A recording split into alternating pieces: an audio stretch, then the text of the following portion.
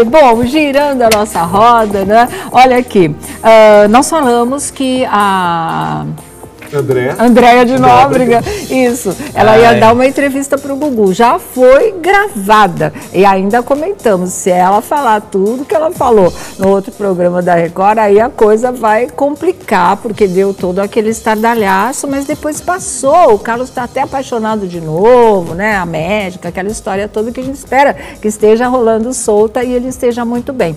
Aí, ah, o que tem nessa entrevista que ela disse para o Gugu, a gente vai ler ler agora para vocês, porque está no site Buchicho do Vladimir Alves, ele mandou aqui para a gente. Nós vamos te dizer algumas coisas do que ela falou nessa entrevista, algumas coisas, mas entre essas coisas, ela fala que na época que ela era a primeira dama da praça, vamos dizer assim, que ela era a mulher uh, do Carlos Alberto, uh, tinha, ela era ciumenta e tinha muita mulher na praça até hoje, muita mulher e muita mulher bonita, né? Faz parte uh, do, do, da paisagem do programa. E aí, o que que acontece? Ela disse que ela ficava de olho em todas, porque é, sempre jogava um charme para cima do Carlos Alberto. E ela dela. citou uma em particular. Vera essa... Verão! Vera Verão! Eu sabia que era Vera Verão! É ela mesmo? Não, não é a Vera Verão. Essa em particular, que a gente gosta muito, né? Mas que tem fogo nas ventas. Eu não sei se ela vai ouvir isso ou ler isso e vai ficar quieta e não vai ter resposta. Vamos aguardar aí, porque essa história pode ter desdobramento, que é Lívia Andrade. Né? Ai, ela ai, cita ai, textualmente a Lívia Andrade, hoje uma das estrelas do jogo dos pontinhos do Silvio Santos. Ela fala da Lívia. Fala também do Carlos Alberto e diz o seguinte: olha.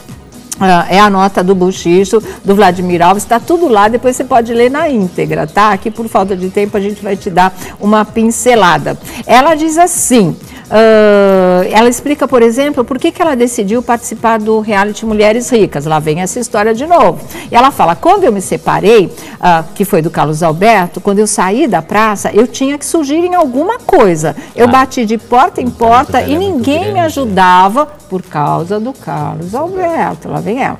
É o que eu te falei, ela diz para o Gugu. Ele é muito forte, querendo ou não, eu me casei com um cara muito forte. Nossa, quando eu aceitei fazer um Mulheres Ricas, assinei o contrato, comecei a gravar, foi quando a casa caiu.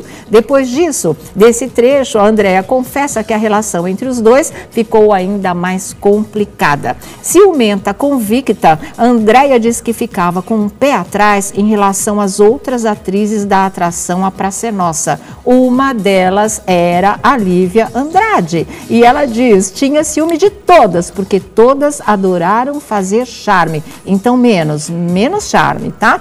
A atriz também abre a mansão milionária em que ela viveu com o marido. Ela mostra um luxuoso não é, presente de casamento que ganhou da Hebe Camargo e ainda vai participar daquela brincadeira de caças de objetos na casa que o Gugu adora fazer, né? Gugu na minha uhum. casa, né? Que é. caça tudo lá. Caça Será tudo que ela lá. ganhou o prêmio? Não sei. Tá aí, olha. Bom, Lívia Andrade na Berlinda, certo? Ô, Lívia Andrade. Lívia jogava outra charme pro vez? Carlos Alberto. Nossa, outra vez mas ela é linda, vai despertar ciúme a vida inteira. Né? Exatamente. Né?